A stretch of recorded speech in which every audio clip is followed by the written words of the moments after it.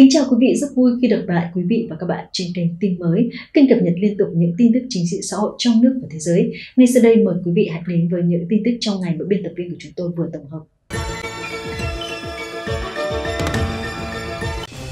Các bạn thân mến, theo trang Baidu của Trung Quốc, việc Trung Quốc bổ sung thêm tàu sân bay, đồng thời đẩy nhanh việc trang bị chiến đấu cơ tàng hình cho tàu sân bay đang trở thành nỗi lo cho nhiều nước trong khu vực.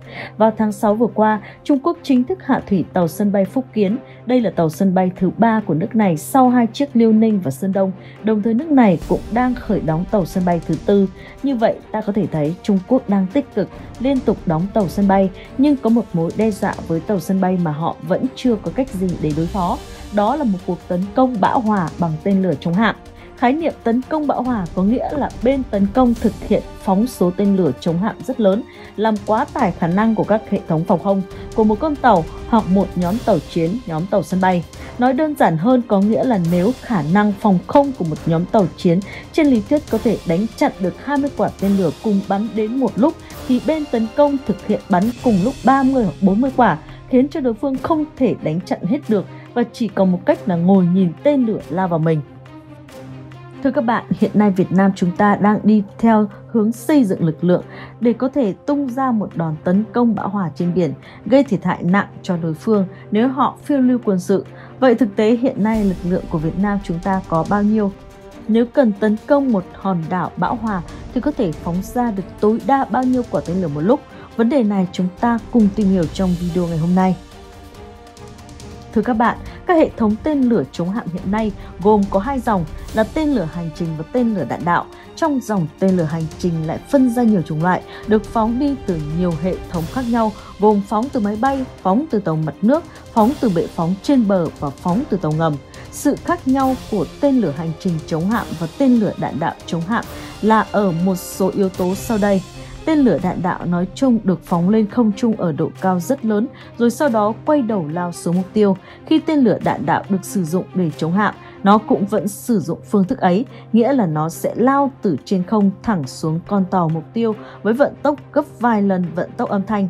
Trong khi đó, tên lửa hành trình chống hạm thì thường lại được thiết kế làm sao để bay càng thấp trên mặt biển càng tốt và sẽ lao vào thân tàu để phá ngang con tàu nhằm đánh chim tàu.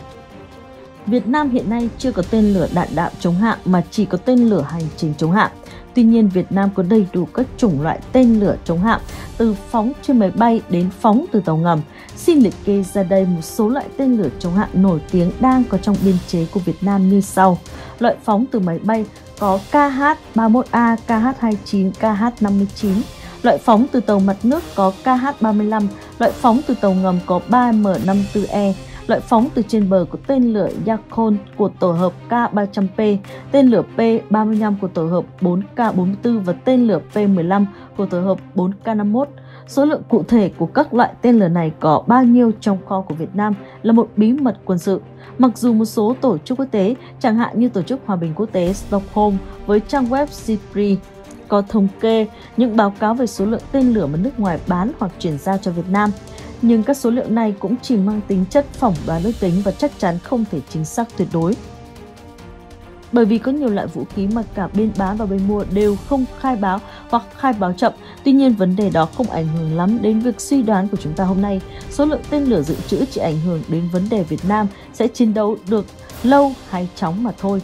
Còn vấn đề chúng ta đang đặt ra là Việt Nam có thể bắn được tối đa bao nhiêu quả tên lửa trong một đòn tấn công bão hòa thì chúng ta chủ yếu dựa vào biên chế lực lượng hiện nay là đủ. Có nghĩa là suy luận từ biên chế các đơn vị sử dụng các loại tên lửa nói trên, chúng ta có thể phỏng đoán ra được số lượng tên lửa tối đa được bắn ra nếu tất cả các bệ phóng của tất cả các đơn vị cùng bắn một lúc. Trước hết nói về các đơn vị tên lửa bờ biển, hiện nay Việt Nam có 3 lữ đoàn sử dụng 3 loại tên lửa khác nhau là P-15, P-35 và Yakon Đối với tổ hợp K300P, thông tin truyền thông cho biết là Việt Nam mua hai tổ hợp, mỗi tổ hợp gồm 4 xe phóng tên lửa, mỗi xe phóng gồm có hai ống phóng. Như vậy, với hai tổ hợp K300P trong loạt đạn đầu, lữ đoàn sử dụng tổ hợp K300P của Việt Nam có thể phóng tối đa 8 tên lửa. Đối với các lữ đoàn sử dụng hệ thống P35 và P5, chúng ta không có thông tin cụ thể về các số lượng các tổ hợp được trang bị. Mỗi tổ hợp của chủng loại P35 gồm 3 xe phóng, mỗi xe mang một tên lửa, còn mỗi tổ hợp loại P15 gồm một xe phóng, mỗi xe mang hai tên lửa. theo dữ liệu của Sibri, Liên Xô năm 1980 đã chuyển cho Việt Nam 20 quả tên lửa P-35 và 60 quả tên lửa P-15. Vậy nếu giả thiết rằng số đạn tên lửa được chuyển giao bằng một cơ số trực chiến và hai cơ số dự trữ thì suy ra được số xe phóng sử dụng P-35 là 6 và số xe phóng sử dụng P-15 là 10. Như vậy, trong loạt phóng đầu tiên, lữ đoàn sử dụng P-35 có thể phóng đồng thời 6 tên lửa, còn lữ đoàn sử dụng P-15 có thể phóng 20 quả.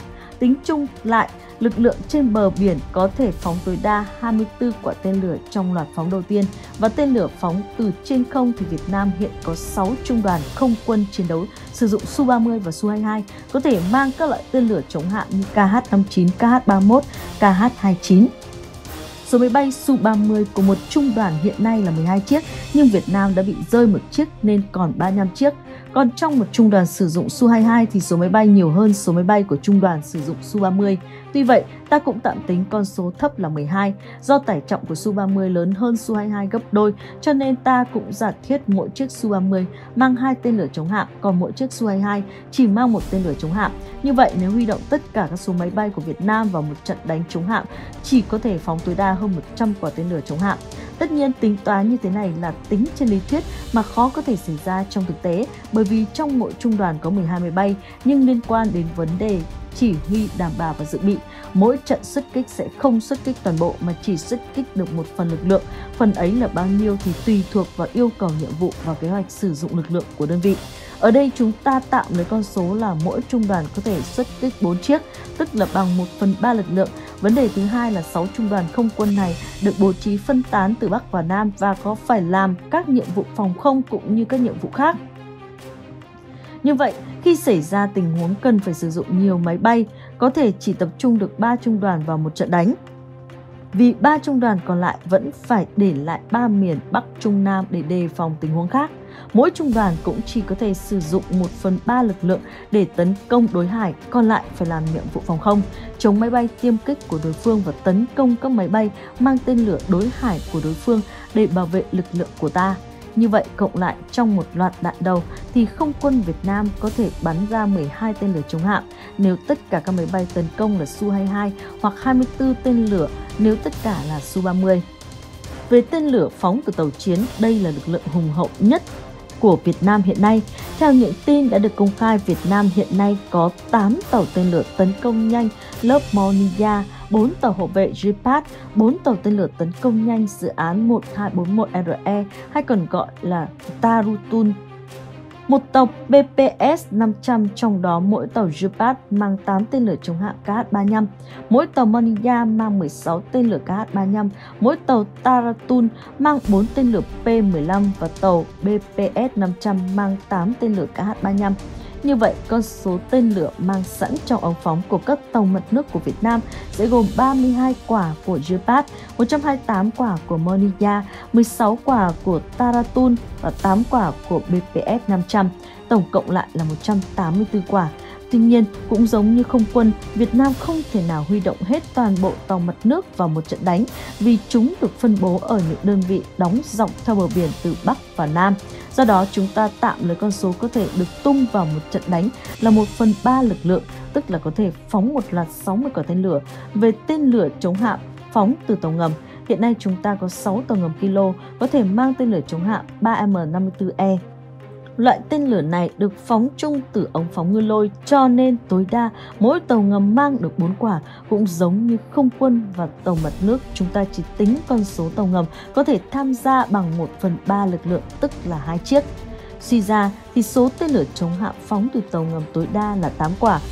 Như thế, con số tên lửa chống hạm tối đa mà Việt Nam có thể phóng trong một đòn tấn công bão hòa gồm 8 của tàu ngầm 60 của tàu mặt nước, 12 đến 24 của máy bay và 24 của tên lửa bờ.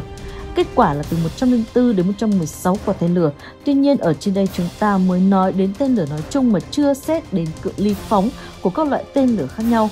Theo chi tiết công bố, tên lửa KH-35 tầm bắn tối đa 130 km, tên lửa 3M54E tầm phóng tối đa 220 km, tên lửa Yakon tối đa 300 km, tên lửa P-35 tối đa 500 km tên lửa P-15 tối đa 80 km. Như vậy, nếu mục tiêu tấn công nằm ở cự ly cách bờ dưới 80 km thì đòn tấn công bão hòa của Việt Nam đạt uy lực nhất vì tất cả các loại tên lửa chống hạm có biên chế đều tham gia được. Nếu mục tiêu nằm ngoài cự ly 80 km tính từ bờ thì phải trừ đi 16 ống phóng P-15 của tên lửa bờ vì nó cố định không di chuyển được.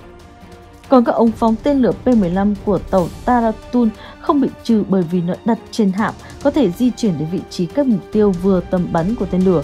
Trong trường hợp mục tiêu cần tấn công nằm cách đất liền rất xa như vùng biển quanh Trường Sa thì có khả năng phải trừ đi cả lữ đoàn sử dụng tên lửa P-35 vì nó đóng ở Hải Phòng không với tới Trường Sa. Hơn nữa, nó còn phải phòng thủ Vịnh Bắc Bộ không thể cơ động vào miền Trung phối hợp với lữ đoàn sử dụng tên lửa K-300P với tầm bắn tối đa 300 km thì cũng chỉ vươn tới được vùng biển phía Tây Trường Sa. Như vậy, khi thực hiện đòn tấn công tên lửa bão hòa vào những mục tiêu nằm ngoài cự ly 300 km thì Việt Nam chủ yếu dựa vào không quân, tàu ngầm, tàu mặt nước. Như vậy phải trừ đi 24 quả tên lửa phóng từ bờ và có thể cũng phải trừ đi cả những tàu Taratun mang tên lửa có tầm phóng ngắn và công nghệ cũng đã tương đối lạc hậu bởi vì nếu sử dụng nó thì cự ly tấn công ngắn nó sẽ dễ bị tổn thương khi đối phương phản ứng lại.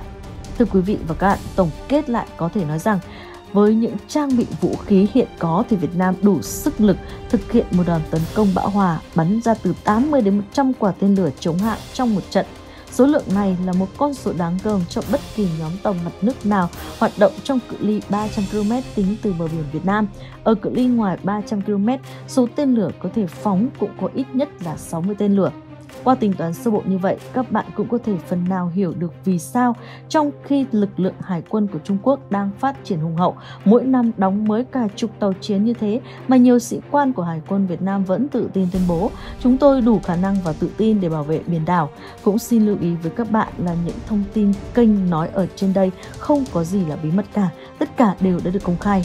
Và một lẽ tất nhiên, trong quân sự cái gì cũng đã được công bố ra thì nó chỉ là bề nổi của tảng băng thôi. Còn những tính toán của kênh thì chỉ đơn giản là cũng chỉ là tính toán ở mức thấp nhất. Khi bước vào chiến đấu thì sự nỗ lực động viên sẽ được phát huy đến mức cao nhất. Một điểm nữa cần lưu ý là lực lượng bảo vệ biển đảo của Việt Nam cũng đang lớn mạnh qua mỗi năm. Sau mỗi năm, số lượng tên lửa mà Việt Nam có thể phóng trong đòn tấn công bão hòa lại tăng lên và điều đó thực sự là một thách thức gian đe đối với những thế lực đang muốn phiêu lưu quân sự. Video của kênh xin dừng ở đây. Bạn có cảm nhận thế nào? Hãy nêu bên dưới phần bình luận nhé. Nếu bạn yêu thích video, hãy ấn nút thích, chia sẻ với người xung quanh và đăng ký kênh để cập nhật những thông tin hữu ích mà kênh sẽ mang đến cho các bạn. Cảm ơn tất cả các bạn. Xin chào và hẹn gặp lại.